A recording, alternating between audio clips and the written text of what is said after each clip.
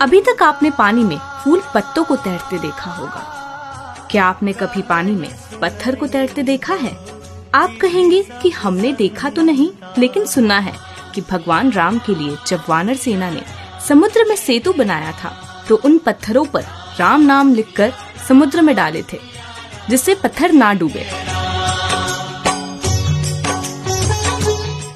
Harimpur Kanpur border के सजेती थाना क्षेत्र में ऐसा ही एक चमत्कार हमें देखने को मिला है।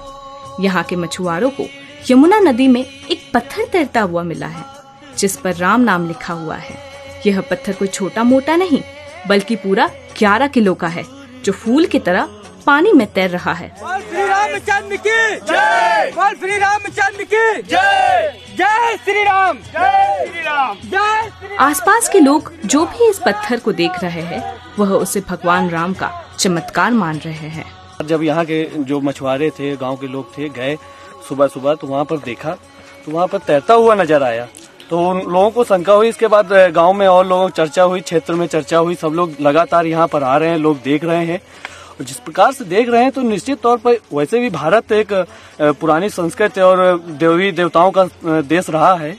और वर्तमान समय में जिस प्रकार से ये आई है तो हम लोगों को भी लग रहा है कि नहीं, आज हम हम हम लोगों के पास अभी भी दैवी शक्ति विराजमान है।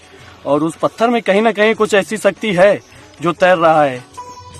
पत्थर में चमत्कार मान लोगों ने इसकी पूजा करना भी शुरू कर दी है। पत्थर देखने के लिए आसपास के क्षेत्रों से लोगों की भीड़ जुटने लगी है। स्थानीय लोगों का कहना है कि ये पत्थर कोई सामान्य पत्थर नहीं है। यह समुद्र से बहकर आया हुआ है। कोई इसे चमत्कार बता रहा है तो कोई भगवान राम का रूप। दैनिक भास्कर डॉट कॉम की रिपोर्ट।